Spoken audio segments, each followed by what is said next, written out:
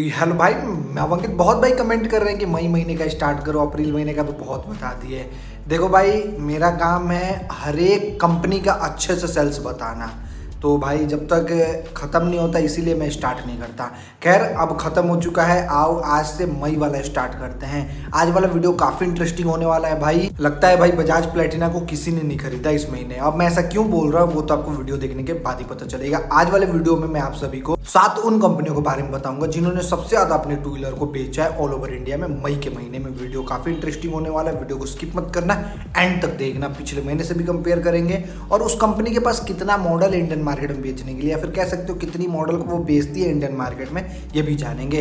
इसलिए फिर से दोहराना चाहूँगा भाई वीडियो को इतना सा स्किप मत करना, नहीं तो मज़ा किरकिरा हो जाएगा। चलो, फटाफट शुरू करते हैं। तो सातवें नंबर पे आइए हमेशा की तरह, यामहा। इन्होंने भाई, मई के महीने में पूरे चौंसठ हज़ार दो सौ बाईस गाड़ियों को बेचा है। चौंसठ हज़ार दो सौ बाईस गाड़ियों को, जबकि अप्रैल में यहाँ आंकड़ा तिरसठ हज़ार अंठानवे यूनिट का था। मतलब ग्यारह सौ चौबीस गाड़ियाँ इन्होंने ज़्यादा बेचा है, जो कि बहुत ही अच्छी बात है। ग्यारह गाड़ियाँ बेच के भाई यमा वालों ने तीर मार दिया, क्योंकि इनकी हर गाड़ी भाई बहुत ही एक्सपेंसिव होती है। खैर, इनके पास टोटल आज के डेट में बारह मॉडल हो चुका है। पहले दस ही मॉडल हुआ करता था, लेकिन हाल फ़िलहाल में इन्होंने एम टी ज़ीरो थ्री और आर थ्री को लॉन्च करा है ना तो टोटल बारह मॉडल हो चुका है। बात करें अगली कंपनी की तो छठे नंबर पे आई है हमेशा की तरह रॉयल एनफील्ड इन्होंने भाई चौंसठ गाड़ियों को बेचा है ऑल ओवर इंडिया में। चौंसठ गाड़ियों को, जबकि अप्रैल में यह आंकड़ा पचहत्तर यूनिट का था। मतलब दस हज़ार आठ सौ गाड़ियाँ रॉयल एनफील्ड की कम बिकी है। दस हज़ार आठ सौ गाड़ियाँ कुछ होता है भाई।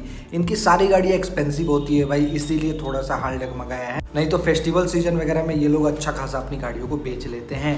खैर, इनकी एक गाड़ी आने वाली है हाल फ़िलहाल में भाई, पता नहीं उसका क्या नाम है, मैंने नोटिस नहीं करा। लेकिन हाँ फ़ोटो आपको दिख रहा होगा। अभी रॉयल इनफील्ड के पास टोटल दस मॉडल है इंडियन मार्केट में बेचने के लिए। लेकिन हाँ एक लॉन्च होने वाली है और 450 सी इंजन के साथ या फिर मेरे को आइडिया नहीं है भाई, मैंने उतना नोटिस नहीं करा है। लेकिन हाँ लॉन्च होने वाली है तो पूरे 11 मॉडल हो जाएँगे। बाकी पाँचवें नंबर पे है सुजुकी। इन्होंने भाई बानवे हज़ार बत्तीस गाड़ियों को बेचा है ऑल ओवर इंडिया में। बानवे हज़ार बत्तीस गाड़ियों को मई के महीने में। अप्रैल में यहाँ आंकड़ा अट्ठासी हज़ार सड़सठ यूनिट का था। मतलब उनचालीस सौ पैंसठ गाड़ियाँ इन्होंने ज़्यादा बेचा है, उनचालीस सौ पैंसठ गाड़ियाँ, जो कि बहुत ही अच्छी बात है। सुजुकी वाले देखो, थोड़ी महँगी गाड़ियों को भी बेचते हैं, सस्ती गाड़ियों को भी बेचते हैं। तो कुल मिला के ये लोग अच्छा ही बेच लेते हैं भाई। बानवे हज़ार बेचा है, अच्छी बात है भाई। ये लोग एक लाख का आंकड़ा मेरे नज़र में तो आज तक टच नहीं करा है। शायद अब टच कर जाए क्योंकि डिमांड बढ़ रहा है इनका। इनके पास टोटल ग्यारह मॉडल है। बाकी चौथे नंबर पे है बजाज भाई बजाज का थोड़ा सा हाल डगमगा चुका है मई के महीने में। इन्होंने एक लाख अट्ठासी हज़ार तीन सौ चालीस गाड़ियों को ही बेचा है ऑल ओवर इंडिया में, जबकि अप्रैल में आंकड़ा दो लाख सोलह हज़ार नौ सौ पचास यूनिट का था। मतलब अट्ठाईस हज़ार छः सौ दस गाड़ियाँ इन्होंने कम बेचा है। अट्ठाईस हज़ार छः सौ दस गाड़ियाँ कुछ होता है भाई। इनकी सारी गाड़ियाँ भाई ज़्यादा एक्सपेंसिव नहीं होती है बजट फ्रेंडली प्राइस में आती हैं, फिर भी इनके सेल्स में गिरावट हो गया, भगवान ही जाने। हालाँकि इनके पास टोटल तेईस मॉडल है हाल फ़िलहाल में और एक सीएनजी लॉन्च हुआ है भाई तो चौबीस मॉडल हो चुका है। बाकी बात करें अगली गाड़ी की, गाड़ी बोल रहा हूँ कंपनी की तो तीसरे नंबर पे आई है टी इंडियन ब्रांड इन्होंने दो लाख इकहत्तर हज़ार एक सौ चालीस गाड़ियों को बेचा है। इनका भी सेल्स में गिरावट हुआ है भाई। अप्रैल में आंकड़ा तीन लाख एक हज़ार चार सौ उनचास यूनिट का था मतलब तीस हज़ार तीन सौ नौ गाड़ियाँ कम बेचा है। इन्होंने तीस हज़ार तीन सौ नौ गाड़ियाँ कुछ होता है भाई। अभी इनके पास टोटल बीस प्रोडक्ट है। बीस, बाप रे बाप शोरूम में जाओगे तो भतेरो मॉडल का गाड़ी खड़ा रहता है। मेरे को लगता है भाई रेडर का ही थोड़ा सा सेल्स डाउन हुआ है, तभी तो इतना सेल्स में गिरावट हो चुका है। बाकी हाँ देखते हैं। अब तो टॉप टेन बाइक या फिर टॉप टेन स्कूटर या फिर मॉडल वाइज वाला बताऊँगा ना तो आपको पता चलेगा। बाकी दूसरे नंबर पे आई है हमेशा की तरह होंडा इन्होंने भाई चार लाख पचास हज़ार पाँच सौ नवासी गाड़ियों को बेचा है, जबकि अप्रैल में चार लाख इक्यासी हज़ार छियालीस यूनिट का ये आंकड़ा था।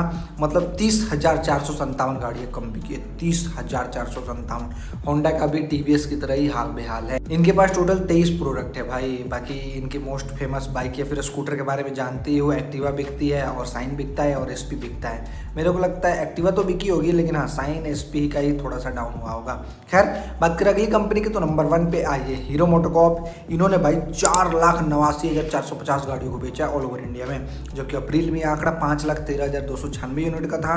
मतलब तैंतीस हज़ार आठ सौ छियालीस गाड़ियाँ कम बिकी है। इनका भी वही हाल है। पता नहीं, मई का महीना सारी कंपनियों के लिए बिल्कुल ही बकवास रहा। लेकिन हाँ किसी किसी कंपनी के लिए बहुत ही बढ़िया रहा, जैसे सुजुकी के लिए यामा के लिए। बाकी सारी कंपनियों का तो गिरावट ही हुआ है। अभी हीरो मोटोकॉप के पास टोटल तेईस प्रोडक्ट है और होंडा के पास भी तेईस ही प्रोडक्ट है। दोनों बराबरी करते हैं भाई, मेरे को लगता है। हालाँकि टीवीएस के पास बीस मॉडल है। तो यही कहानी रहा भाई। इंडियन मार्केट में मई के महीने में। आई होप आप सभी को मज़ा आया होगा। चलो वीडियो देखने के लिए आपका धन्यवाद। थैंक यू सो मच भाई दिल से जय हिंद सभी को।